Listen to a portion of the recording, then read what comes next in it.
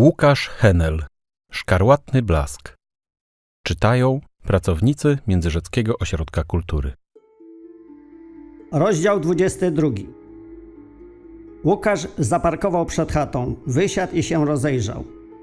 Należało zachować najwyższą czujność. Skoro agenci nowej synagogi znaleźli Martę, mogli również i tutaj zastawić swoją pułapkę. Gęsty las stanowił świetną osłonę dla każdego, kto pojawiłby się, by wypróć im wnętrzności, a potem porozwieszać je na drzewach niczym upiorne girlandy. Ułatwiał także ukrycie zwłok, tak by nikt i nigdy ich nie odnalazł, nawet przy intensywnych poszukiwaniach, gdyby oczywiście takie w ogóle nastąpiły. Łukasz jakoś nie mógł sobie wyobrazić wrednego policjanta, który powiedział mu o śmierci księdza Stanisława, jak pilnie przeczesuje wraz z kolegami las w poszukiwaniu zaginionych.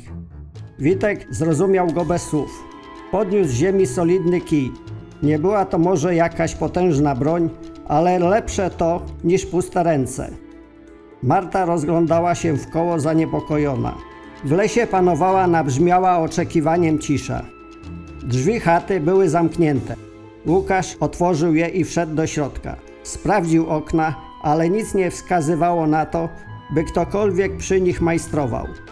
Nie zmieniało to jednak faktu, że musieli przygotować się na ewentualny atak nowej synagogi. Łukasz zabrał z kuchni pogrzebacz i umieścił go przy łóżku. Witek zamknął drzwi i okienice oraz zapalił naftową lampę, mimo że na dworze było całkiem jasno.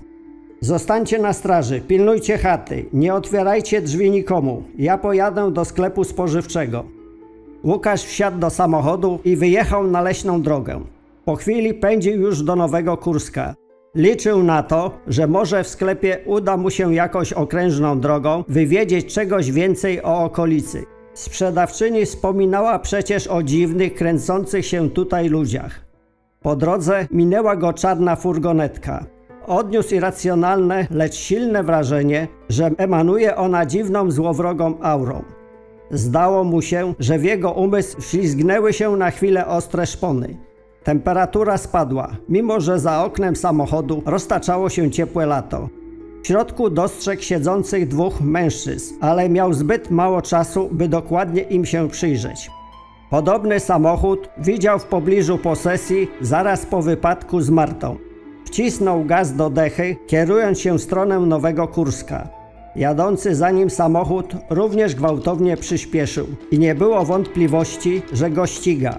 Mimo, że Łukasz przekroczył niemal setkę, furganetka doganiała go. We wstecznym lusterku widział dwie ponure postacie mężczyzn. Ten siedzący obok kierowcy wykonywał w powietrzu jakieś tajemnicze gesty. Łukaszowi włosy zjeżyły się na głowie. Zdał sobie sprawę, że grozi mu koszmar równie wielki jak ten, z którym spotkała się Marta.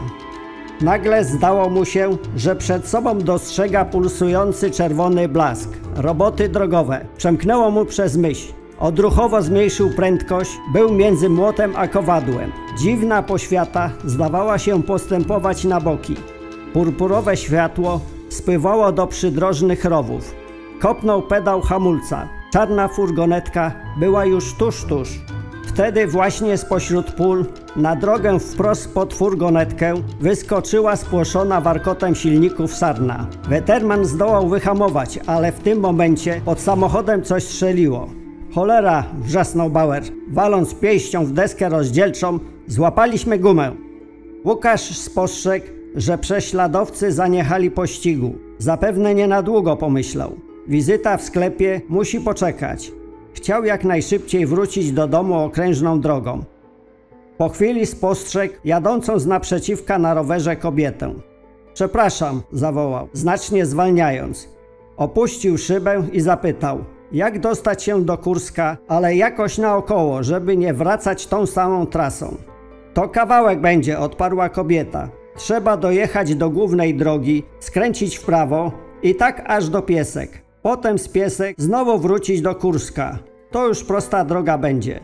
Dziękuję. Wygląda pan, jakby jakiegoś potwora zobaczył, usłyszał. Wszystko z panem w porządku? Łukasz otworzył usta, by coś powiedzieć, ale ostatecznie machnął tylko ręką. Jeszcze raz dzięki, rzucił i odjechał.